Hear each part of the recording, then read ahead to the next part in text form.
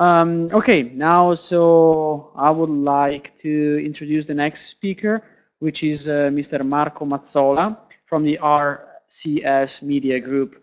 Um, well, the RCS Media Group uh, doesn't probably doesn't even need to be introduced. Actually, I mean, um, especially here in Europe, uh, it is absolutely one of the major major um, editorial group. Um, just a few names.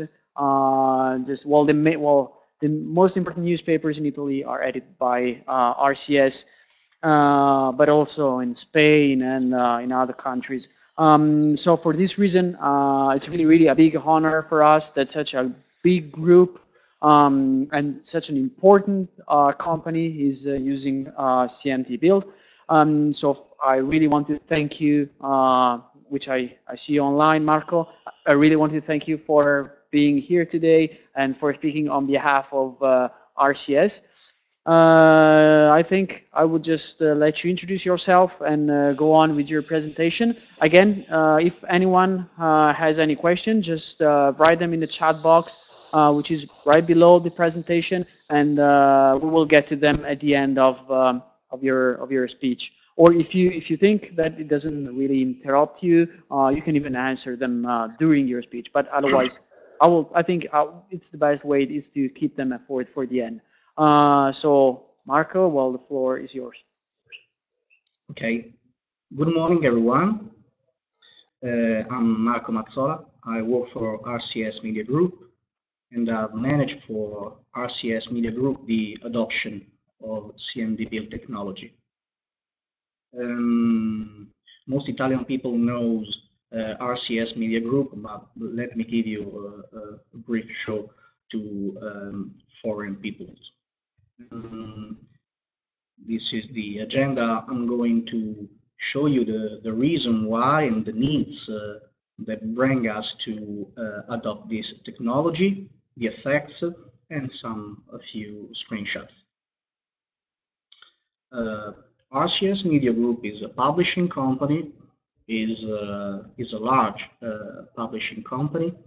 It's an international group that has uh, is mainly present in Italy and, Spain and has about one third of its income from foreign countries. And obviously, as all modern uh, publishing company, uh, spread always uh, a presence in all types of media uh, newspapers, magazines, uh, TV channels, apps, uh, and of course advertisement and even um, event organization.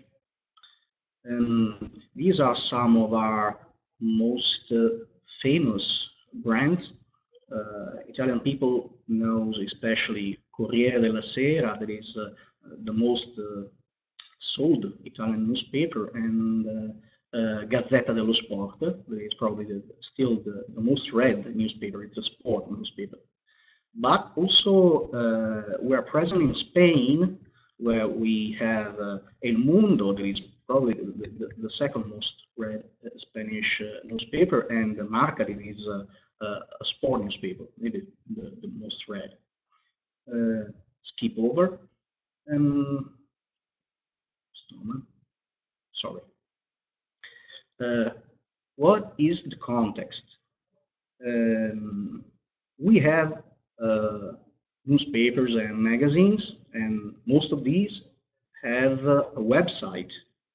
Um, we have really lots of websites. As you can see, uh, I just wrote uh, about 1,000. Really, there are more than 1,000 websites.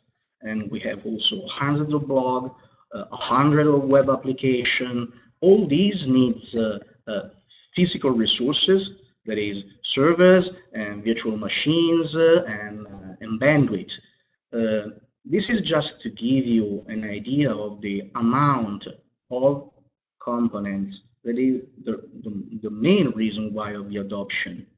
Um, uh, also, the, the, the, technologies we use can give you uh, an idea of the context. Uh, we are talking about web farm that is uh, dedicated to serving RCS websites.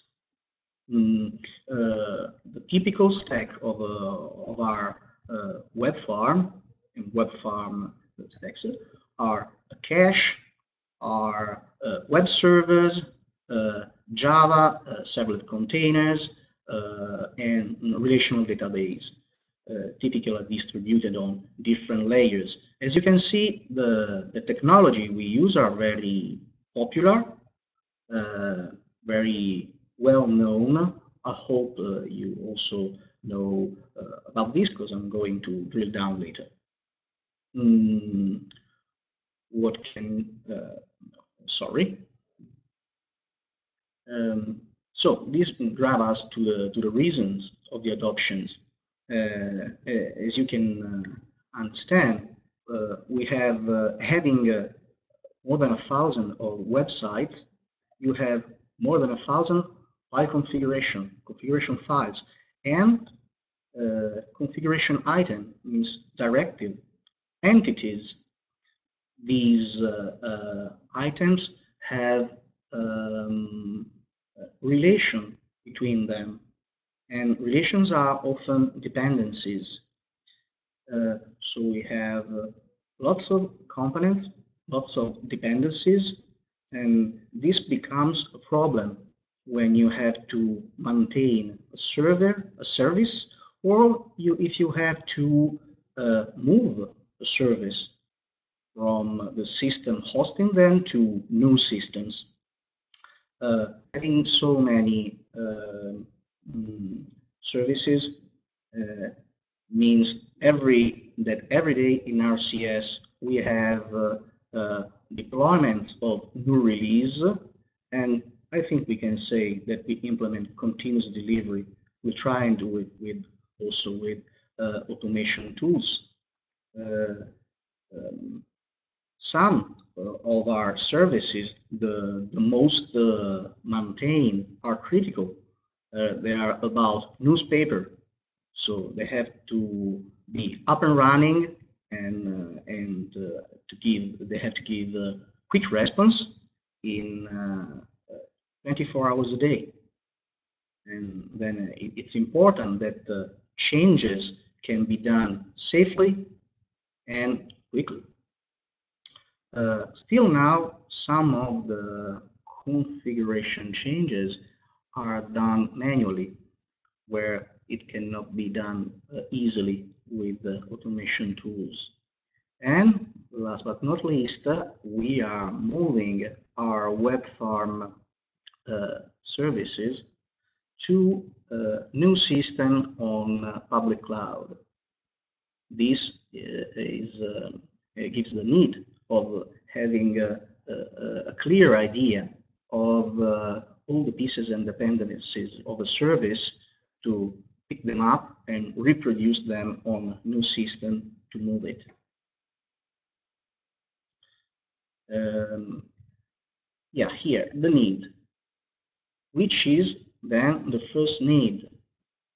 Having what I call uh, a problem domain map every service, a service could be considered as a, a website with, with all its related uh, web applications. Uh, the problem domain map is uh, a graph, let's say, of relations and items.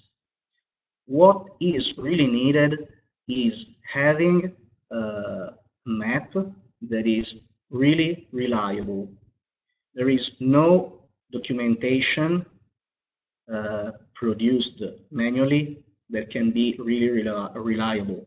The day after you finish to uh, to write it, or the day after you have updated, it's already uh, out of date. It's no more reliable. Um, then, what what is needed is having a tool that maps the the almost real-time uh, situation of your systems and environments. Uh, another another need is to being able to track all the changes, especially for those that have been made manually. Because if you change something from a console, from a web console, uh, it's very useful that who manage the systems can know that this has happened and eventually approve it or uh, discuss about it. Safe maintenance, uh, maintaining all these uh, systems uh, and services has to be done in a safe way. Uh, safe means that you uh, should know exactly where you are putting your hands on, that you know that there is no hidden pieces you are forgetting, which has been the solution, uh, adopting an asset manager. Uh, using it uh, in a, maybe in a particular way, uh, it's not a software and hardware discovery. It's um, inventory. It's uh, um, discovering and uh, tracking software components and system components. Uh, these components are defined and configured in conf software configuration files. And this is maybe, it's not typical of, of all uh, out-of-the-box uh, asset manager.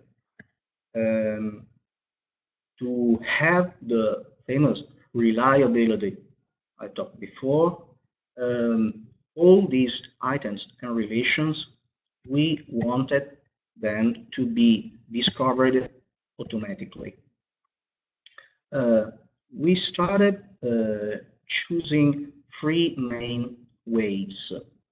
Um, the first one is about our typical uh, web farm stack, that is uh, uh, Apache configuration files with its uh, virtual hosts and relation with Tomcat backend applications, Tomcat configurations with its web application and refer to uh, database, relational database.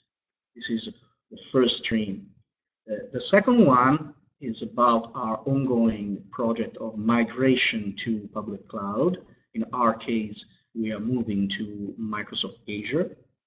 And also on Microsoft Azure, you can create uh, uh, many kind of uh, uh, items and entities, virtual machines, disks, IP, load balancers, all these uh, um, this entity can be created manually or can be created uh, submitting uh, uh, JSON files. That's what we usually do.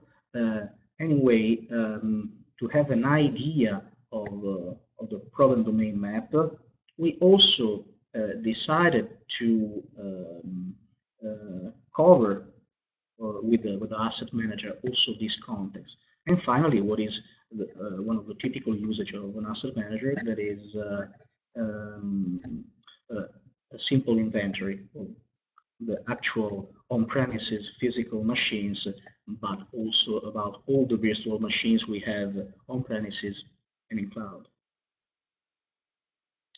Which have been the requirements we gave us and we had? Uh, I said reliability. Uh, we have to uh, trust the information, else they are almost uh, unuseful and even in some cases uh, counterproductive. Uh, uh, reliability. Uh, we decided that uh, most of the information uh, had to be discovered with automation, automatically. We, this means with the software. and to keep these information reliable, these cannot be notified manually. This can be only be fed by connectors, software connectors. Other information can be added and also relations can be added, of course, and populated uh, manually, where this information cannot be fed uh, easily or cannot be even fed in any way to the system. And also uh, this data has to be trustable and then uh, have to be updated. They have to be up to date uh, and frequently submitted to the systems, to the CMDB. Uh, another of our need is customizability. Uh, a, a, a, typical out-of-the-box uh, asset manager uh, will never have the type of items we needed and the types that probably we will need in the future, the new configuration we are going to do on the on this tool. So the, the, the software uh, to be adopted has to be um, open, let's say, has to be customizable um, for the item types and for the integration that have to be uh, developed custom to integrate with other software or other data sources. Uh, another requirements we gave us is about um, the, the approval of the changes. So uh, all items are fed their properties to and any change in these properties or in the existence of the items and, the, and their relations is tracked and is notified an eventual change. And this change had to be approved. It's very simple. In our case, the uh, process uh, uh, process component of the usage of CMDB. We had just a, a single step approval. It can be approved or not. Uh, what we, uh, uh, for our experience, we, we know that it has to be considered in the adoption of technologies, the learning curve. it's important because even a, a very good technology uh, if it has a, a, a long learning curve, uh, you have the risk that it will not be really uh, adopted or will not get popular in your in your company because of the the needed time to learn it or and to even to start learning, especially for the start. Uh, last but not least, uh, the cost is always important, both for the running costs and for the, the adoption project. Uh, all these reasons bring us to CMDB, CMDB. It's a it's an open open technology. It's uh, I think it has a, a very good uh, architecture and, and good interfaces. Uh, it's uh, uh, it's good for interoperability with uh, our system, and of course it's not that expensive as most famous enterprise market uh, competitors. Uh, we decided to adopt the ready-to-use uh, version that has a, a good out-of-the-box hierarchy of items that covers uh, most of the typical uh, IT assets and uh, um, that we all, of course, we extended, but it's mm, demonstrated to be a very good baseline to start from. Which have been the, the steps? Uh, very simple. Uh, in short time, we did it. Uh, installation, the extension of the out-of-the-box uh, data model and hierarchy, uh, then uh, we just write a few scripts to expose to CMDB only the configuration information needed and to hide some for privacy policies, uh, some other type of information like uh, passwords. And uh, then Tecnoteca developed for us the connector to cover the free streams I, I said before the approval process has been configured very quickly because it's very light, and then a few reports. Uh, the effort and elapsed time has been planned in in two months and has been met. Uh, let me show you what what uh, what could be seen on, on our system. This is uh, I'm sorry, I had to offusc some uh, information. Anyway, this is a, a, graph, a typical graph of, of, a, of one of our web service. Uh, you can click on these items and drill down, hide what, what is not uh, uh, interesting. Uh, in this case, you can see a, a couple of websites. This is a, load balancer that balance backend request to a couple of uh, Tomcats.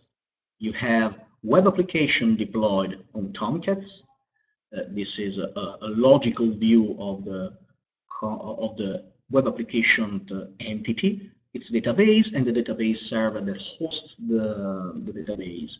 And obviously, clicking on this uh, object, you can have uh, shown all the properties you, you, you needed. You can delete and you can, anyway, drill down, obviously. Uh, uh, it's also possible to, to have this information in a, in a table, table way. I have uh, another graph, sorry, it's a bit small, but uh, this is about Azure. It only uh, changes the, the, types of, uh, of items. You have on cloud, you have IP, balancers, and virtual network interfaces. And that's all. I think it's been an interesting project, uh, a very useful tool that we are going to invest on more than what we have uh, done uh, since now. some additional benefits that we didn't await. just writing the, the connectors the, the, the, connector written by Tecnoteca had also logs and in these logs, uh, the, uh, the, the, connectors uh, writes uh, what they consider inconsistencies, that is, uh, uh, rules and naming convention and best practice. we told Tecnoteca were not, when these were not followed. And this way we could clean up a little our configuration and discover even unused existing items.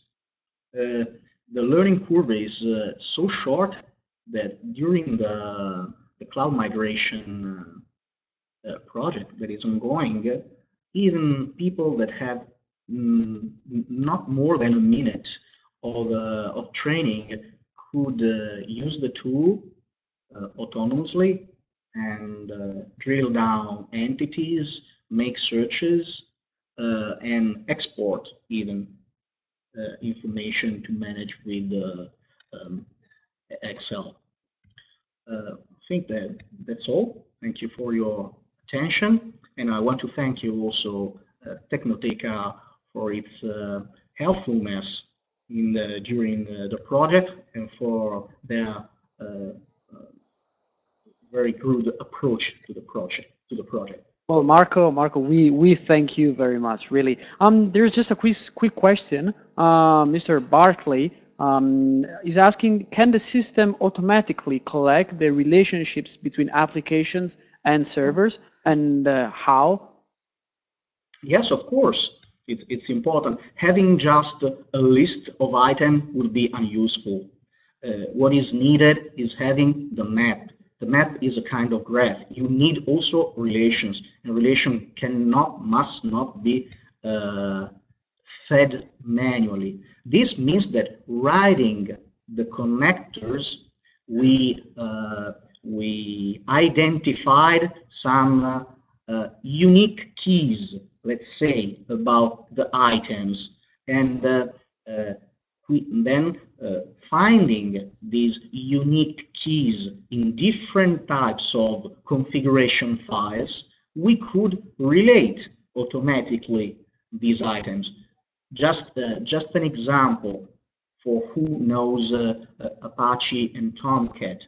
In, uh, in Apache configuration file, you have virtual hosts, and virtual hosts you can have directive that refer to what is usually called workers.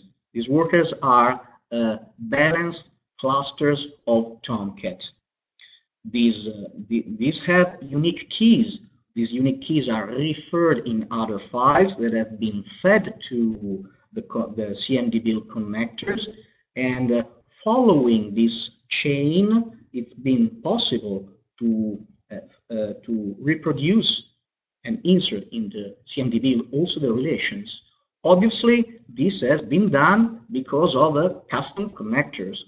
And custom connector can be done because uh, it's very open, this software. All right. Yeah. Well, that's uh, yeah, very good. And that this actually also um, links to the, the previous question we we had. Uh, well, Marco, I really want to thank you, especially because I know you spent uh, part of your holidays uh, to work on this presentation. So, well, that's a double double thank you for you. Uh, it's really nice to see that uh, people are so appreciating our tool that are even willing to spend some part of their holidays uh, to work on, on, their presentation for, for the CMDBuild Day. This is something we really appreciate, and uh, we thank you. We thank you very, very much again. You're welcome.